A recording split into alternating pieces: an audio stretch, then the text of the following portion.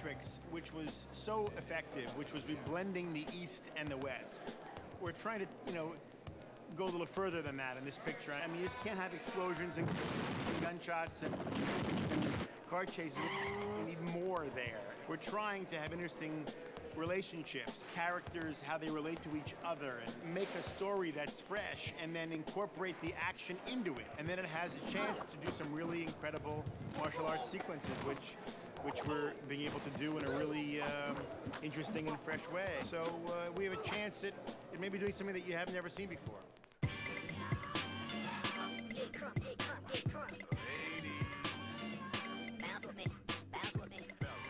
I don't like some movies, just fight. It's the most important is the story. You need to bring the audience into the story. Then they saw the fight scenes is more interesting. What we've been describing this as ever since we first started making it was a hip hop kung fu movie. We have this African American family, we have this Asian family, and the offspring of those families become involved. In the story, there are two factions. There's African American faction and Chinese faction, and they want to get all the businesses together and make a deal and build a football stadium. My character is, uh, his name is Han. I play the Han. Han is a cop that was thrown into jail because he held back evidence that would have put his family away back in Hong Kong. 那么我们就不能像人家的父子那样开门见山的谈谈。已经没有我这个爸爸，一生不想走去香港，留下两个孩子在大陆，你算什么父亲？ Both of our families are involved in crime, heavy duty crime. And but we've decided to separate ourselves from that and live a positive life. Unfortunately, both of our brothers get killed in the midst of all of this crime. Uh, Trish has um, um, disapproved of um, the business practices that Isaac has been involved with. I play a character by the name of Mac. He is basically the enforcer for the family of Isaac O'Day. Kai and Mac and I sort of mirror one another as the couples or lieutenants or second in command for these major families. My character is uh, the comic relief throughout the picture. I mean, you find me, I'm supposed to be menacing, but uh, I think I'm a clown. Do I know you? How you gonna play me like that? What? Now you know I work for your pops. Right, right. What's your name again? Some star with an M, Yeah, that's it. That's it. Come on, you like Moron. But you- Funny. Trish is trying to get away from Maurice, and she hops into a cab. And it just happens that Han is stealing this cab. Just drive. Who's that? Nobody. That's our first connection, the first time we meet. And we kind of like each other from the get. It's just really cute. Tell me, is it true what they say about Hong Kong? What's that? You know, all you guys do kung fu. Of course, state law. It's been a long time, long time. We shouldn't have left you, left you without a dope beat. Step two, step I've always been a fan of the Hong Kong cinema. I guess the, the one that was uh, the most impressive to me is when I saw Once Upon a Time in China. That's the first time I saw Jet in that picture. He's an incredibly um, intense, great actor, and his martial arts skills are, you know, second to none.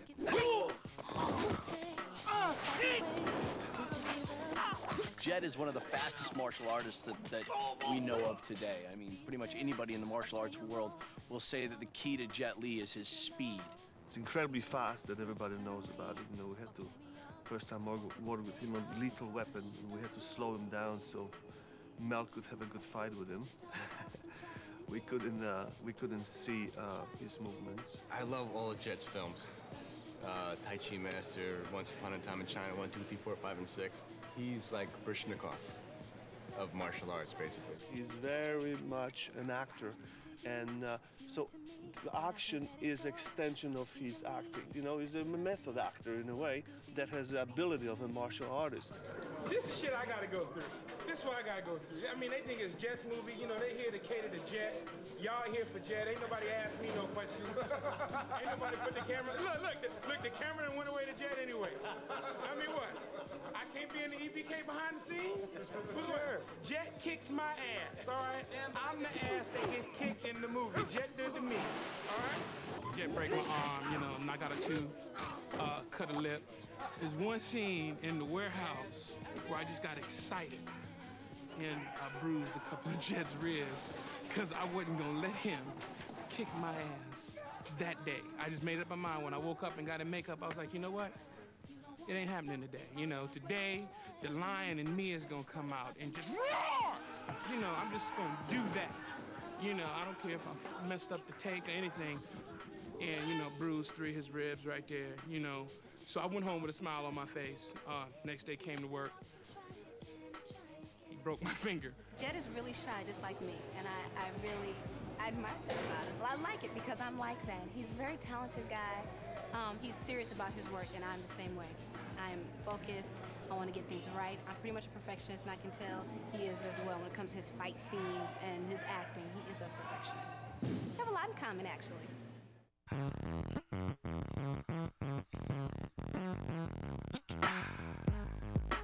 Aaliyah is the new thing. I mean, not only is she a really great singer, not only is she sexy, but she also has a lot of that girl next door element to her. I felt I had to play a certain kind of character to make my transition from videos, from being a music artist into being into becoming an actress. I wanted someone who was similar to me, someone that had an edge, had an attitude. He said, I had the part for you. And he told me all about the movie. He told me uh, it was Jet Li's second picture with them, and I saw Lethal Weapon 4, and I fell in love with Jet. So I was really excited about just doing a movie with him. She's magic, and the whole idea of the hip hop kung fu blend kind of came out of that. She's a uh, young girl, so charming, you know. We work together is very happy. It really starts with an attitude when you have someone coming aboard for doing something for the very first time. I mean, she came in with, the, with an attitude of wanting to do the best job she could possibly do because she really seriously wants to, to do this and, and pursue this as a career.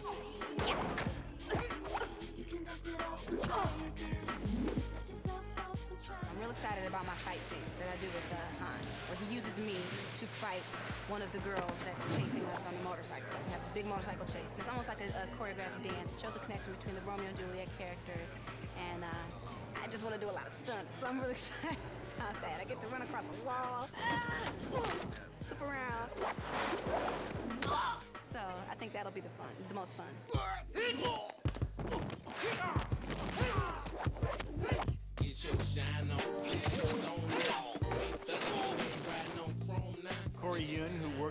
Um, with us on Lethal 4, is working with us again, who's doing the martial arts work with Jet. And a lot of the uh, support, Corey Yuen support, a lot of those guys are with us on The Matrix. Corey's imagination is you just don't know where he's gonna go. uh, I think he's pretty much you know a genius at what he does. Camera angles, the way we use the wardrobe, um, using the wires. The choreography is just phenomenal. And the way we, we working uh, in Asia is different from the way we work here. And uh, the way we're using the camera angles and the techniques are, are quite different. And his action is usually based on the characters. And those characters, when you have different character, he creates different kind, different weight of uh, the action. One guy maybe he's very cool, maybe calm down, so he doesn't move. And they start very fast. One guy is a funny guy, he move a lot, so he do a lot of things in the beginning. The character is more interesting. Remember all the ass kicking we was talking about Jet giving me? It's my one redeeming scene in the movie. The one I get, me and my boys, we get to lower the boom on. He come to the park, we're out there playing ball. You know, Jet, Jet, come on, Jet from China. Jet don't know nothing about no football. You know, so, you know, he come on out, want to play a little game with us. So we show him how we do it. East Oakland style, streets, Compton, Carson, L.A., Watts, all that. We break him up. We break him.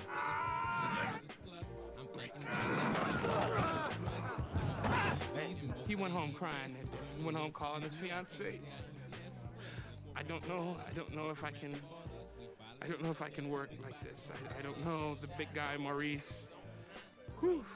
It's an unusual combination is the East and the West. And you have Connie Palmisano, who's the stunt coordinator, who is uh, kind of expert in the Western aesthetic of how we fight, and the camera kind of is designed to fool you into believing you're watching the actor in a fight. These actors are doing the fights. They're, in many cases, they're designing the fights. It's watching a sequence almost like a dance number. I mean, you would see Fred Astaire, or you would see Gene Kelly, and you'd see them head to foot, so there wasn't anybody else doing the dance. They wanted you to know that they were doing the dance. Essentially, Jet is like Gene Kelly. It's not two guys standing back and throwing punches. It's one guy jumping over another guy's head and kicking him in the head as he jumps over him and then landing and swinging around backwards. I mean, it's some crazy stuff. Imagine how hard it is to do ballet, and then imagine how hard it is to do ballet while flying through the air. And you can't just grab a couple you know, macho guys and tell them to pull a wire because there has to be grace to it. It has to be beautifully done so that the actor is not yanked out of his, out of his, you know, socks.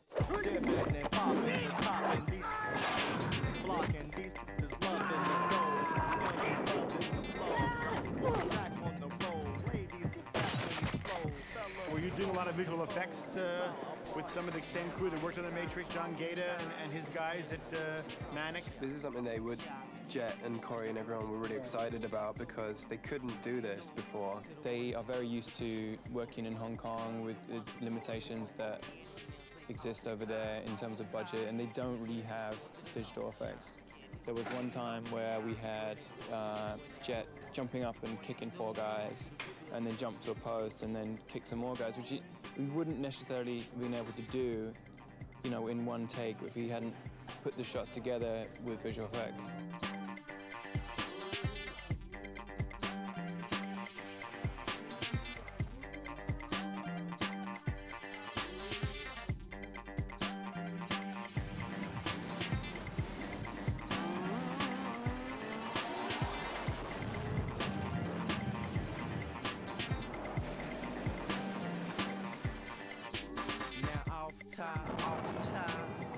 Joel Silver makes probably some of the best action movies that I don't know I've ever seen, and with combining Corey's genius with choreography and then Joel Silver, I mean, it's really just a it's a great blend.